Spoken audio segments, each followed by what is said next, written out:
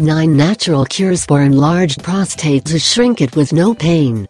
In brief moments a written explanation. Almost all men over 50 have this problem with the prostate. The prostate is a gland in males and has the look of a chestnut, located near the urethra. Two issues can arise here, enlargement and inflammation. Symptoms and causes. Two warning signs mean you have some prostate issue, frequent urinating and problems with the urine passing.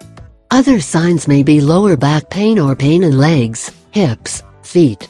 Here you will see the 9 best remedies that are natural for enlarged prostate. 1. Mix and chop 3.5 ounces celery root, 0.7 ounces pumpkin seed, lemon juice, 1 teaspoon olive oil. Mix them until homogeneous. Take a big spoon of this mix in the night before bed. 2. Consume sunflower seeds every day from 1700 hours to 1900 hours, and this time is the best since the body processes the seeds optimally. 3.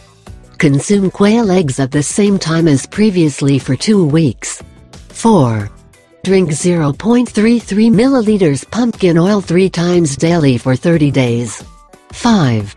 Add 1 tablespoon dry hazelnut leaves and boiling water 1 cup and leave this tea to cool. Have 2 tablespoons of it several times in a day. This cures the prostate adenoma. 6. Place 4 cups water in pot and add 1 ounce chopped pine tree needles. Boil for 10 min and use low heat. Strain this tea and divide it in 5 cups.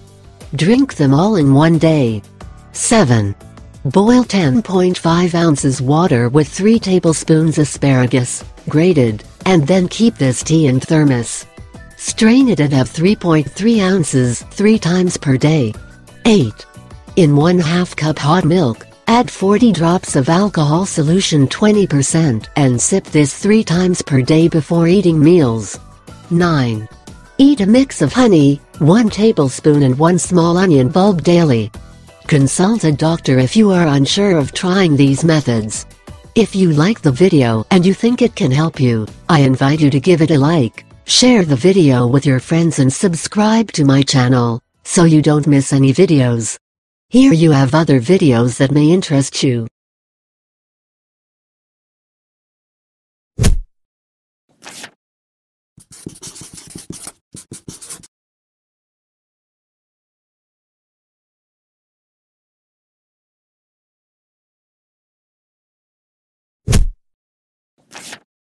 you